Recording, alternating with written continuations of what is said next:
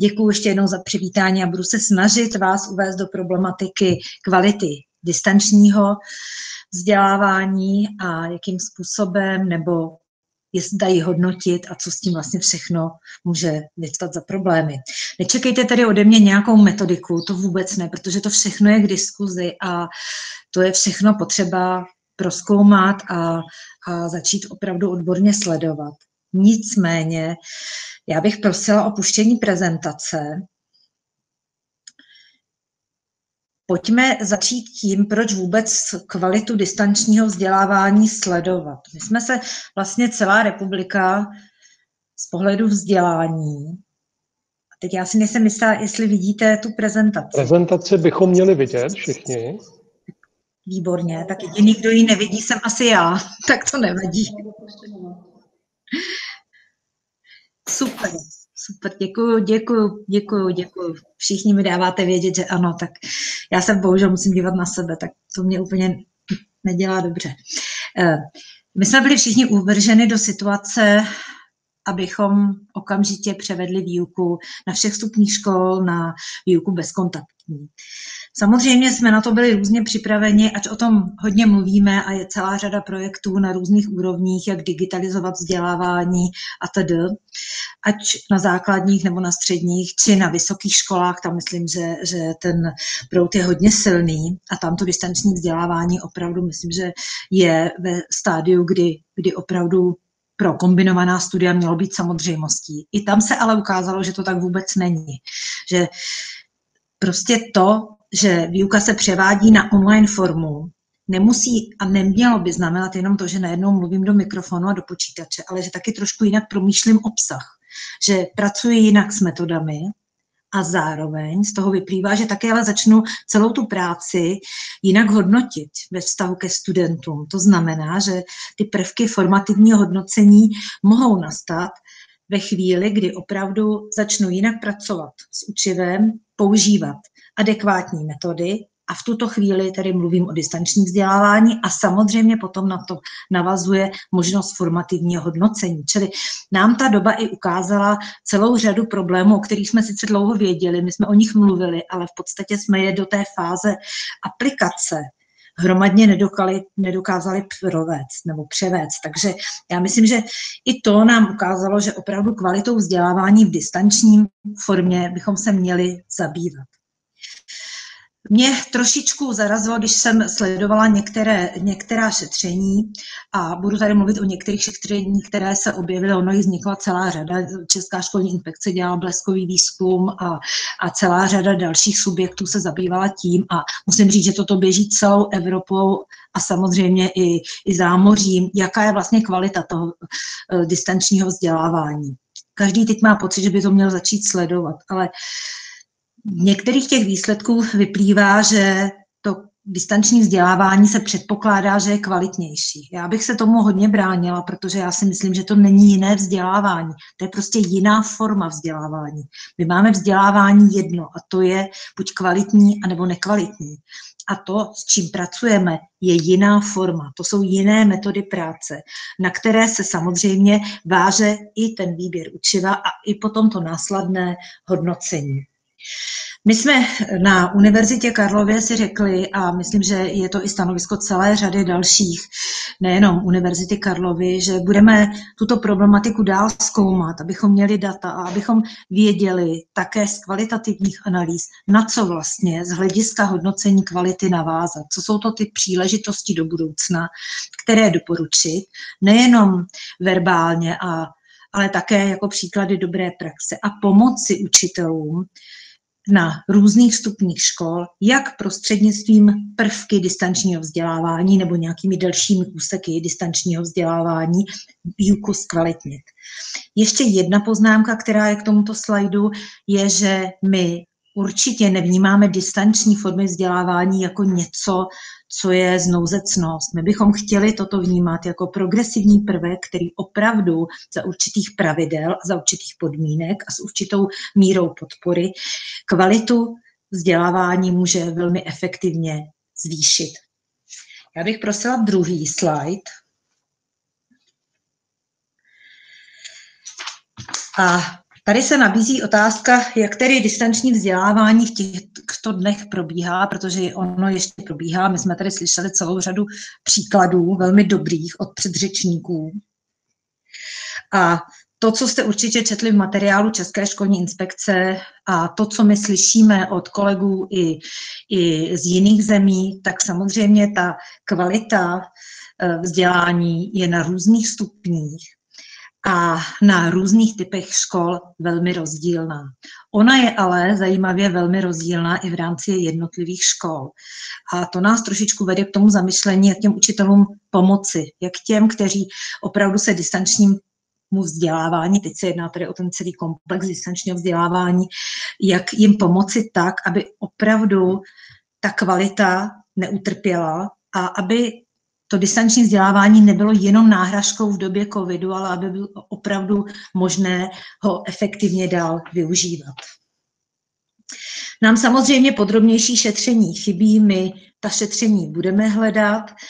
My z toho šetření, které udělala Česká školní inspekce, víme, že ty podmínky na různých školách byly velmi různé ale že obecně se dá shrnout, že učitelé obstáli. Já jsem v některých rozhovorech řekla, že učitelé byli prostě skvělí, že podle mě zabojovali v první linii úplně stejně dobře jako lékaři a, a prostě chopili se své práce z různých podmínek, z různých zkušeností a, a prostě fungovali velmi dobře a snažili se těm žákům zprostředkovat kvalitní vzdělávání, tak, aby opravdu neutrpěli na tom, co se mají učit, ale také sami v podstatě udělali ty průřezy učiva, o kterých neustále mluvíme a byli to oni, kteří to nakonec vzali na svá bedra a prostě rozhodli, co ty děti potřebují se teď naučit a co nepotřebují a jakou formu, aby je to bavilo, aby se připojili aby to prostě fungovalo a aby taky dostali adekvátní zpětnou vazbu.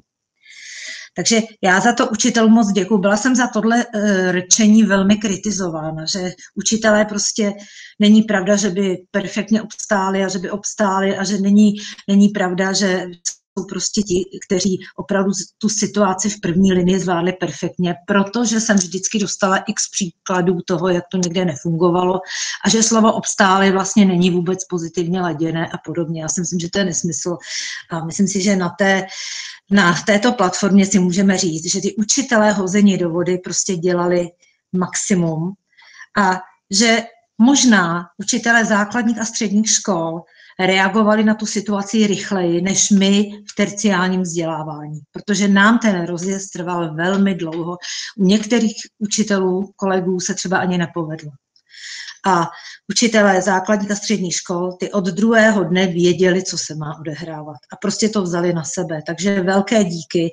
A přitom, tak jak jsme měli možnost sledovat i přes naše studenty, kteří se snažili asistovat některým učitelům, ta kvalita byla neustále sledována. Nejenom motivace a zájem žáku, ale také to, aby ta hodnota toho vzdělávání a ty příslušné cíle nebo ty předpokládané cíle, aby neutrpěly. Já se pokusím začít tím, co je méně při tom hodnocení jako celku. Eh, já se pokusím eh,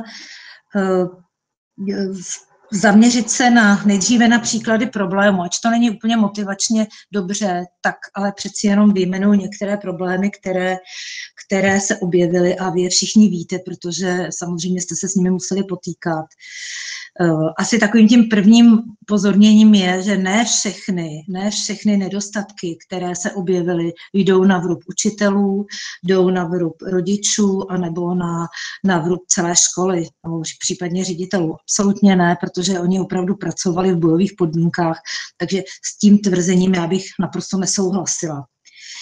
Eh, velkým problémem, který se odkryl, je vliv socioekonomické situace jednotlivých žáků a jejich rodinného zázemí jako velkého limitu pro to, aby se tímto způsobem děti učily. Určitě máte zkušenosti, které jsou kolem vás a, a kde toto třeba neplatilo i u těch takzvaných uvozovkách dysfunkčních rodin. Ale bohužel prostě víme, že v řadě rodin ten kontakt absolutně nebyl ale nebylo to jenom z důvodu nezájmu těch rodin, ale prostě ty rodiče si tu výuku nedokázali s dětmi společně zorganizovat nebo ji vůbec nedokázali pro dítě zorganizovat a byly to většinou právě technické prostředky, byl to, byly to ale i třeba eh, situace, kdy v rodině byl jenom omezený počet eh, technických prostředků a museli se děti vystřídat a podobně.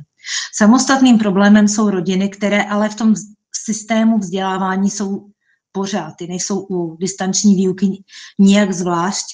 To jsou rodiny, které opravdu o školní výuku zájem nemají. Eh, děti, které eh, využívají všechny možné cesty, aby se se školou potkat nemuseli, to znamená záškoláctví a podobně, ale to není podle mě charakteristický rys distančního vzdělávání. To je prostě skupina, která je vždycky a, a tu bychom měli umět vyřešit. Škoda, že neprošel například návrh v zákonu o pedagogických pracovnících, návrh možnosti mít ve škole sociálního pedagoga, který by s těmito dětmi i v komunikaci s rodiči pomohl. Ale to se prostě nepovedlo. Já doufám, že aspoň budou nějaký sociální asistenti, především tam, kde, kde je větší kumulace těchto uvozovkách, znovu říkám, dysfunkčních rodin. Možná taky další, dalším takovým limitem bylo to, že řada učitelů si vůbec nevěřila. Prostě myslela, že to nezvládne tu situaci. My jsme s nimi dělali s některými rozhovory a oni nám říkali, že vůbec nečekali, že tohle na ně dopadne. A že prostě s technikou tohoto typu nemají zkušenosti a že prostě do, toho, do té výuky online absolutně jít nechtěli. Takže byli k tomu velmi zdrženliví. A během několika dnů při spolupráci s ostatními, což já potrhu nejvíc, tak v, každé, v každém případě při spolupráci v kolektivu a s ostatními a v řadě případů i s rodiči, protože i rodiče někde se ukázali jako velmi supportivní článek, tak tu výuku distanční zvládli perfektně a naopak prostě nechci říct, že by v tom našli zalíbení, ale zvládli ji tak, že se dá mluvit o tom, že opravdu ta výuka pro děti byla podnětná, byla efektivní, byla kvalitní a byla hodnotná, takže vynikající. Co se objevilo ještě jako jeden problém, tak na co si rodiče stěžovali hodně, to určitě jste zaznamenali také a to bylo vlastně taková ta přesycenost, přehnané nároky na děti, přehlcování žáků, úkoly, to je samozřejmě velmi složitý problém. Ono to souvisí právě s tím stanovit si, co je smyslem vzdělání. Co o toho dítěte opravdu chci, aby v dané oblasti, čím by se mělo zabývat, do jaké míry umím to učivo redukovat a přizpůsobit ho tak, aby se navzájem propojilo a aby vytvořilo nějaký smysluplný celek a neučím memorovat jednotlivé části a zpracovávat nesmyslné pracovní listy a pracovní úkoly tak, aby ty děti byly něčím zaměstnáni. Takže já myslím, že to je přesně to, co, co to distanční vzdělávání prostě potřebuje. Pokud o něm budeme dál uvažovat nebo o distančních prvcích, tak ale vždycky musíme mít na pořadu přemýšlení v té první linii, co je vlastně tím smyslem. A jakým způsobem ten obsah těmi metodami dovedeme až tam, aby celé, celý ten celek byl naprosto funkční. No a teď těm pozitivům, protože ty já samozřejmě mám radši a myslím si, že by to tak mělo být. Já předpokládám, já jsem je dala nakonec hlavně proto, abyste si je udrželi v paměti a ty příklady dobré praxe a ta vaše pozitivní schrnutí, samozřejmě i, i s tím, že určitě někdo zmíníte i negativní, ale eh, zkušenosti, tak ta pozitiva, aby, aby nás inspirovala navzájem. Takže proto jsem to dala až nakonec, aby toto nám rezonovalo eh, v případě potom té následné eh, diskuze.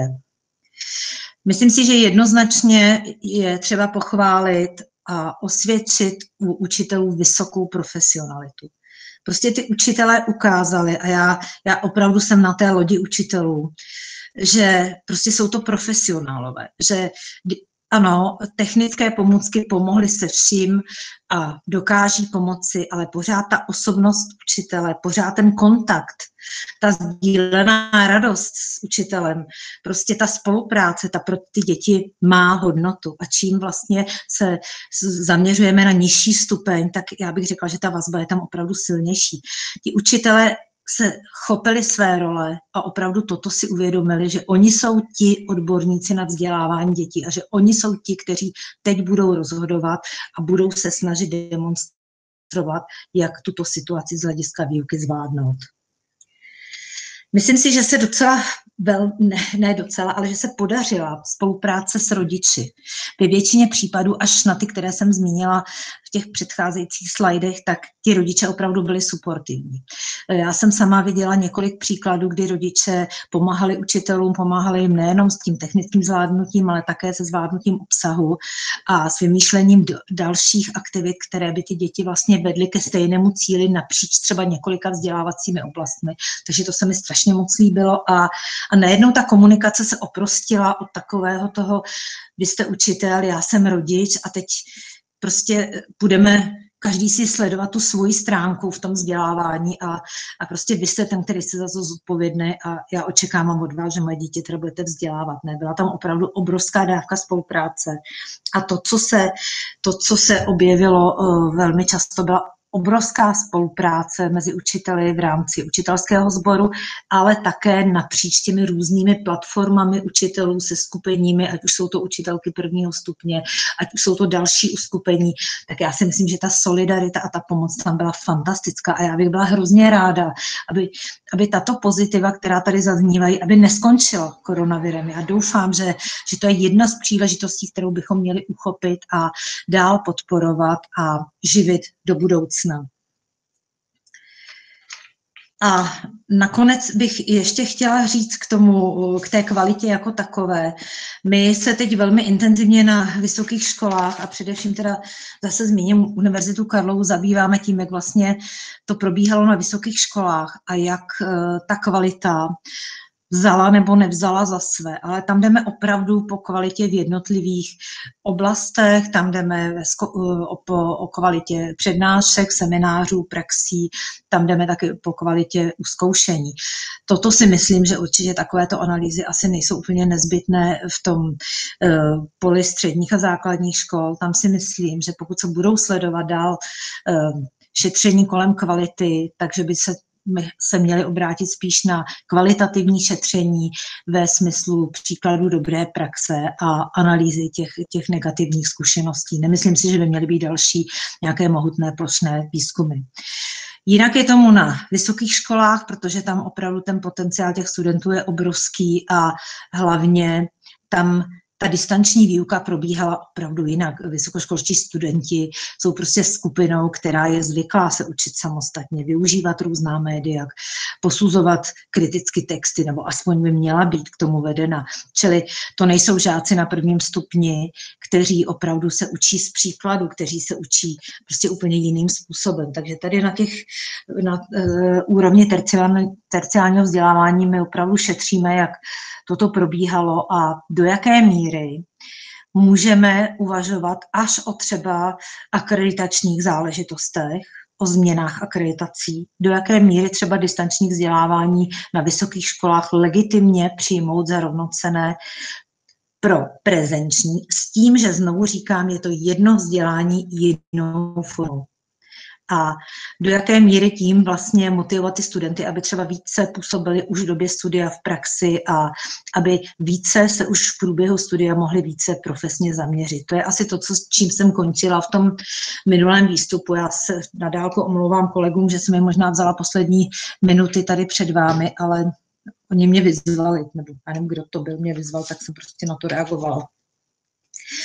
Eh, myslím, že z hlediska kvality velmi důležitým činitelem, kromě učitelů, je také ředitel. Ředitel lídr, který eh, nejenom, že dokáže zmanažírovat to, jak děti nastoupí do školy nebo jak se jim rozdají počítače, které třeba přinese někdo z nějakého státního úřadu a daruje dětem a podobně. Ne.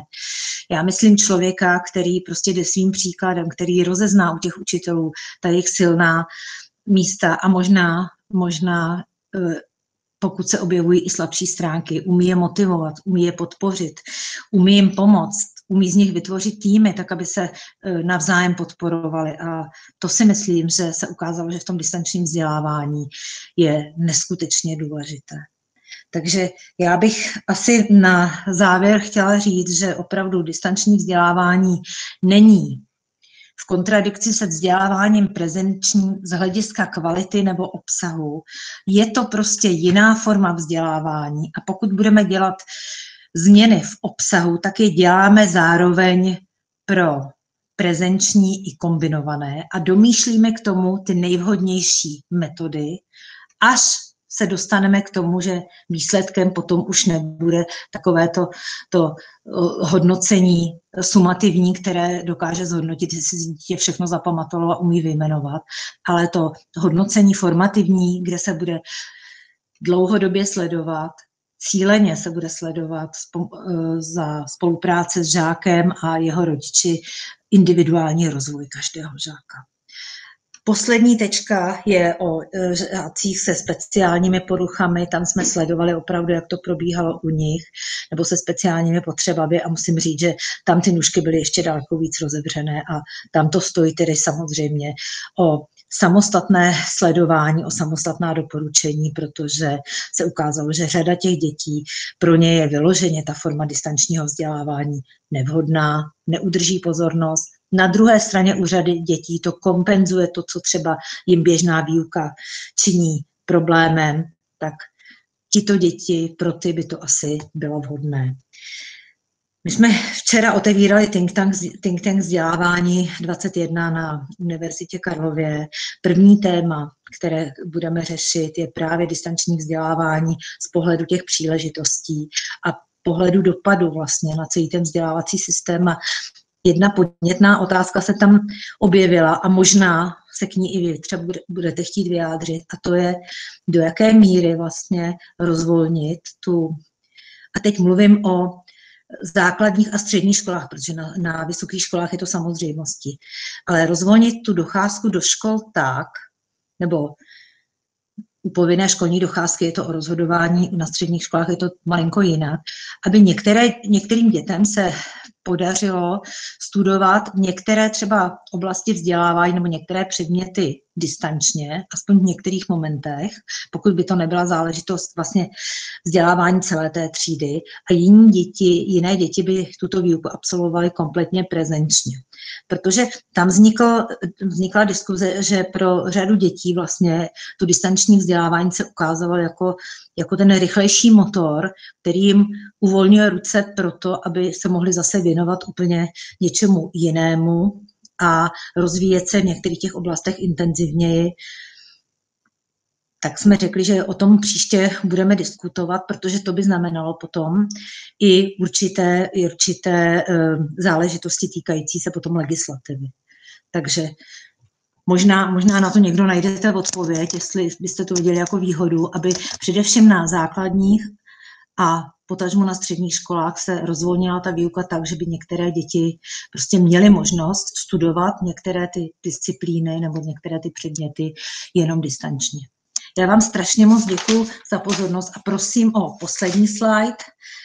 A to je v podstatě jenom výzva, že kvalita vzdělávání je vlastně to, co nás spojuje a co tedy je velkou námahou, ale pojďme do toho, protože nechceme, nechceme, aby distanční vzdělávání stálo někde pro případnou druhou nebo třetí nebo šedesátou vlnu, ale aby to byl prostě běžný integrální prvek, kvalitní prvek k tomu, aby vzdělávání prostě plnilo svůj smysl a své cíle. Děkuji.